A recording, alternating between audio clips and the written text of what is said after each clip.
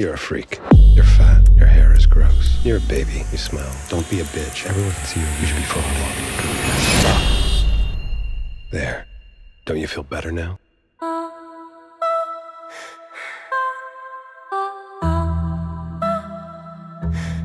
I feel weird lately. Are you sick?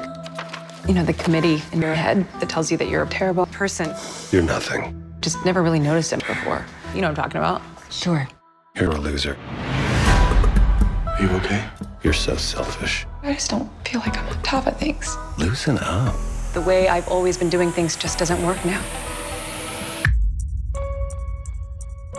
You're so beautiful, so delicate, I feel sick. I've been telling myself to do certain things, Hey, Sugar Plum. Let it go. act a certain way, There's nothing better than watching her get all excited. Don't cause a scene. or else something bad will happen to me.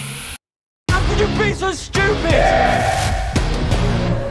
Maybe you cast yourself in a part you don't want to play anymore. You're a pretty little flower, I'm scared to do things differently. like a flower. You're going to fail. I'm not listening to that voice.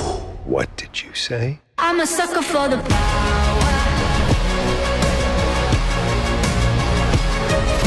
You'll never find your way back to that kind of freedom. I don't want to be afraid of some terrible outcome. I want to be free. This is a huge mistake. I want to be free. No one will even want to come near you. You will be alone. Alone. Alone. I want to be free.